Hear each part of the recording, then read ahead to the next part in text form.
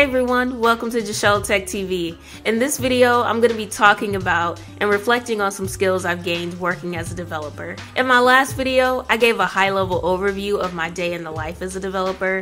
However, in this video, I want to talk more about some things I've learned over the past year and three months. In my first role as a software developer specialist or junior developer, I worked in the field of higher education. And since this was my very first programming role, I really didn't know what to expect. So starting off, I was assigned tickets such as writing technical documentation, updating website content, and assisting with research. In that time, I was also learning the technologies that we used on our team, which was mainly Drupal and PHP. I was also learning the code base and learning from my peers about how our products worked. And after a while, I was assigned more development work. This included tickets like fixing bugs, CSS and layout changes and updates, testing, and assisting with finding solutions to enhance product functionality. I mainly worked on what was called the district websites, and I also worked on the student application. I also helped out content managers, which were internal staff who managed website content. I would help out if they had problems or ran into errors while trying to update a site.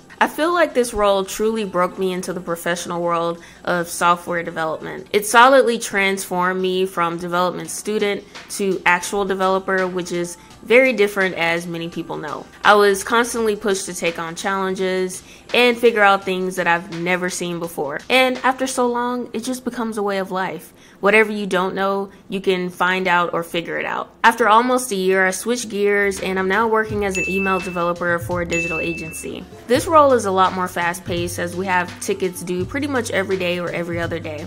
Fortunately, my first role prepared me for it, and I was able to bring my skills over into a new role and change of pace. With email development, I'm getting to learn a new skill in the tech world, which is developing marketing emails for the healthcare industry. Whenever you check your email and see nicely designed emails, be it newsletters, subscriptions, emails that ask for customer feedback, updates, and things like that, well, there are developers that code those out typically in HTML, CSS. However, there are frameworks such as MJML that can also be used to make it much easier to build out responsive emails. The difference with email development is that since you're developing for email clients, that is Gmail, Outlook, Apple Mail, etc., the standards are a bit different from web development, and it of course requires a lot of testing to work to get them compatible with most email clients. There is some browser testing involved as well.